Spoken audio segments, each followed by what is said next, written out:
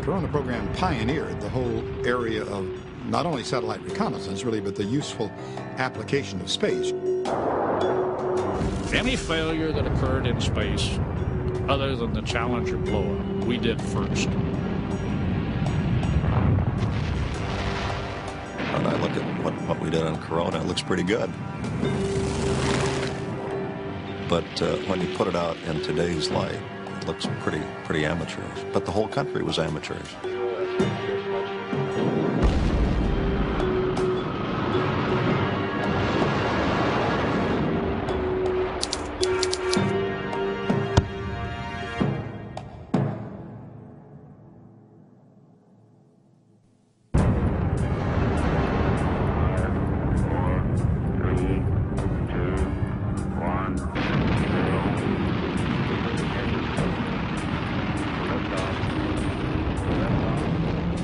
This is the American space program that you know.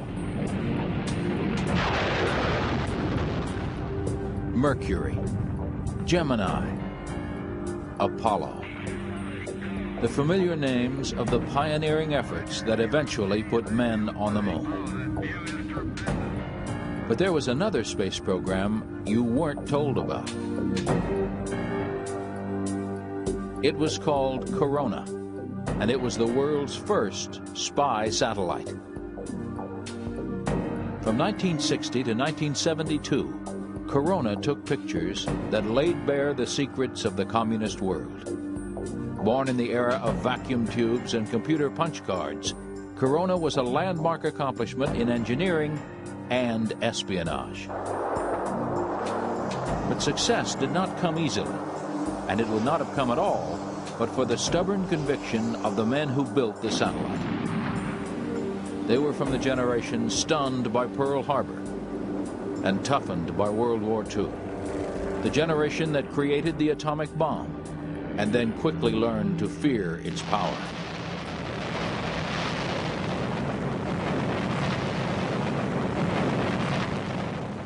Corona's story begins in 1946, a year after the bombing of Hiroshima.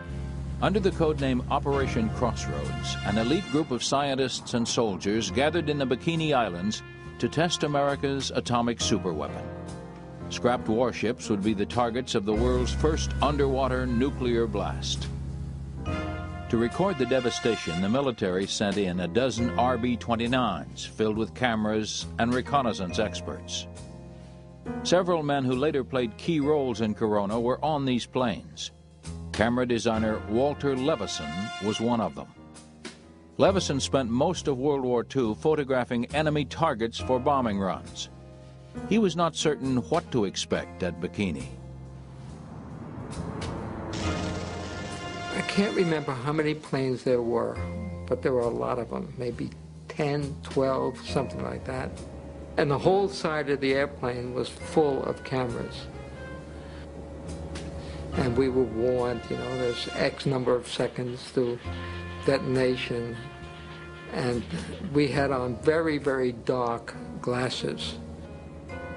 And we were not supposed to look directly at the bomb anyway, but what the hell was the point of being there if you weren't going to be looking at the bomb?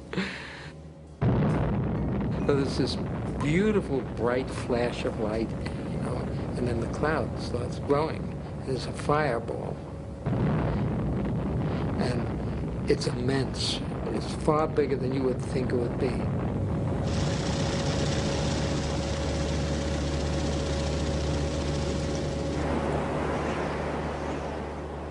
The ships that were anchored there were just tossed up in the air, you know, and those are big, big ships. And uh, they were tossed around like they were toys. And um, I think a whole bunch of us at that point turned their attention away from weapons of war more toward how do you prevent a war and what can you do. And that became the focus for the rest of my life, actually. The threat of a Third World War emerged almost immediately after the Second came to an end. Two nations had emerged as superpowers, the United States and the Soviet Union. Their ideological differences were vast, and the political rhetoric between the two grew openly hostile. The Soviets made no secret that their goal was to liberate the world through communist revolution. Western leaders worried that the Soviets would develop nuclear weapons of their own and launch them against Europe and the U.S. in a massive surprise attack. The problem was, no one knew what the Soviets were doing. The nation was vast and mysterious, a brutal police state that punished those who asked too many questions.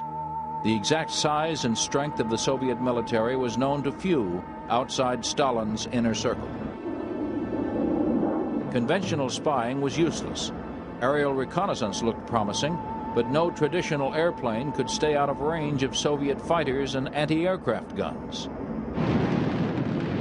Forward thinkers realized the ideal vantage point for spying was outer space, before World War II, the idea of even breaking out of the Earth's atmosphere was laughable.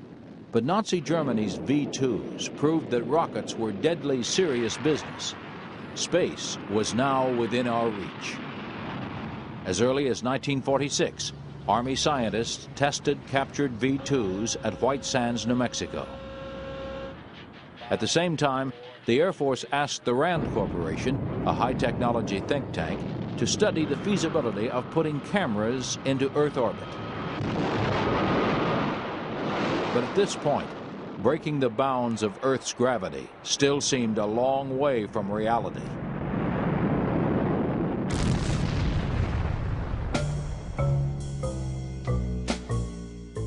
Working from other RAND studies, the Air Force turned to a much older form of transportation. Balloons had first been used for aerial reconnaissance during the Civil War. Now the U.S. hoped to turn them loose against the Soviets.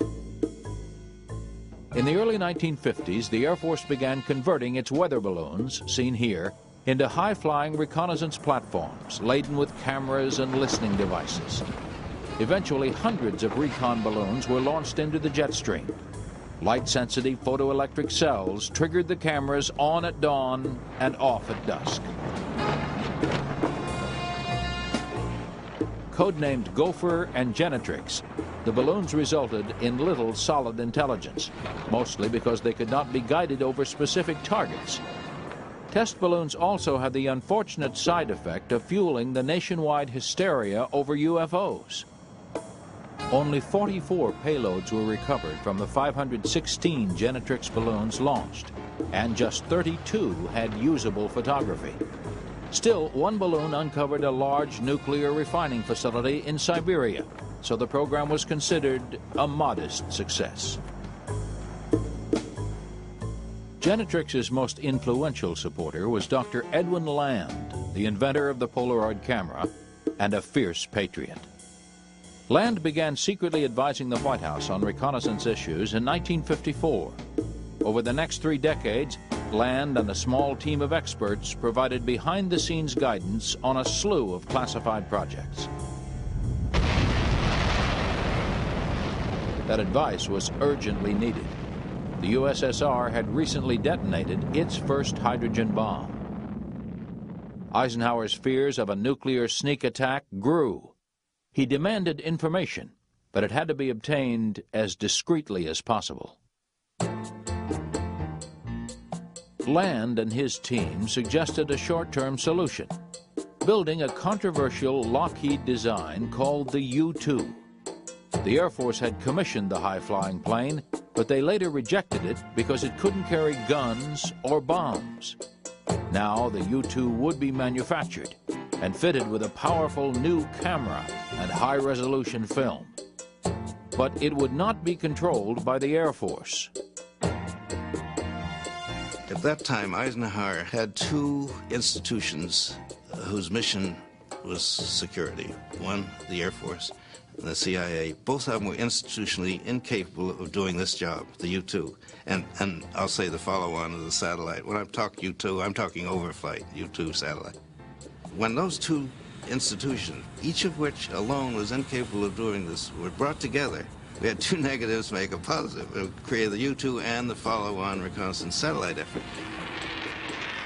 The Air Force provided support, and uh, the CIA, which really wasn't in the hardware business at all, was carried the ball. And under Bissell did a fantastic job. Richard Bissell was the CIA's point man on the U-2. Bissell had been the hidden hand behind the Marshall Plan to rebuild post-war Europe. His dealings with the Soviets left him convinced that the West faced an implacable adversary that would lie, cheat, and kill to realize its goals. He was determined to fight back by using America's technological know-how in the service of spying. He had an unbelievable memory. He could recite train schedules from 10 years before. He did that just to keep his mind fit. He, uh, he was a patrician fellow, yeah, very well educated, a man of great goodwill. He had come into the agency in Allen Dulles' time, and his first real project had been to develop the U-2. And he clearly was one of those people that just had a lot of get up and go. He could cause people to work together, he could build a consensus, and he was decisive. Under Bissell's streamlined management, the U-2 was built and flown in nine months. In 1956, it began its dangerous treks into Soviet airspace. Much as they tried, the Soviets could not shoot down the high-flying plane, but they did lodge diplomatic protests after every incursion. For this reason, Eisenhower rarely approved flights into Russia. But the photos the U-2 did bring back hinted that Soviet boasts of military superiority were more wishful thinking than reality. U-2 photos turned up surprisingly small numbers of long-range bombers. Nuclear test sites were found, but the size of the bomb blasts showed that the weapons were not as powerful as Soviets claimed. Soviet rocketry was coming on strong, but the threat did not seem overwhelming. Intelligence officers wondered if the Soviets were hiding all their significant installations somewhere in the USSR's vast northern territories. The problem was that the U-2 was not designed to take pictures of wide areas of terrain.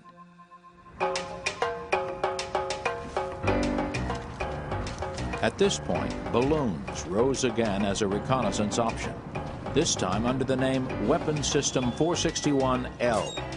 Built around a powerful camera designed by optical physicist Walter Levison, 461L was an order of magnitude improvement in photographic quality for aerial spying.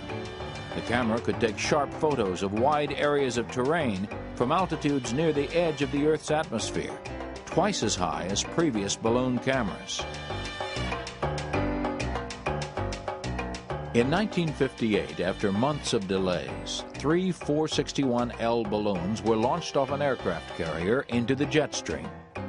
Unfortunately, the launches had been delayed, and someone forgot to reset the balloon's timers. All three payloads dropped into communist territory. Eisenhower was livid. The Air Force had guaranteed him that this new surveillance program would be undetectable. Now the president had an international incident on his hands. 461L was quickly canceled. But the elegance of Walter Levison's camera was noted by Polaroid's Dr. Land. It would quickly be put to new use. In October of 1957, the Soviet Union put the first man-made satellite into space. Soviet spokesman pointedly noted that the same rockets that sent Sputnik into orbit could easily send missiles to any part of the world. Sputnik set off a near panic in the United States. Politicians charged that America was lagging behind Soviet technology, and if action wasn't taken soon, the West would fall victim to a missile gap. In fact, American missile building was in full swing. The Air Force's Ballistic Missile Division had been test firing ICBMs for years.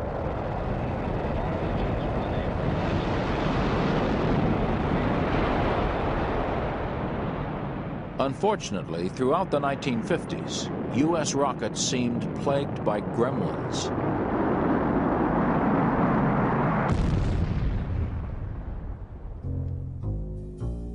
One of the programs managed by the Ballistic Missile Division was Weapon System 117L, a semi-secret